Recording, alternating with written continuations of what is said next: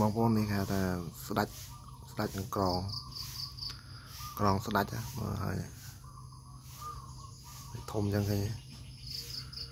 អានោះដូចជាមេកន្ទ្រៀងមួយក្នុង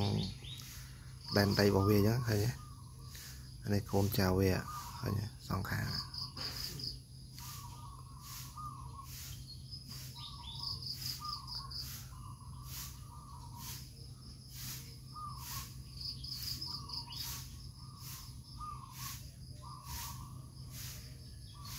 មិនដឹងថាវាពងធ្វើអីទេឥឡូវហ្នឹងមើលអត់យល់ដែរដឹងថាខំគ្នាក៏មិន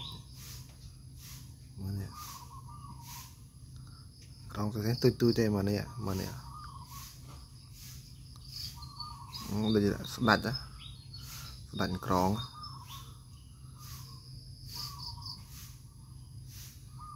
នេះធំនេះ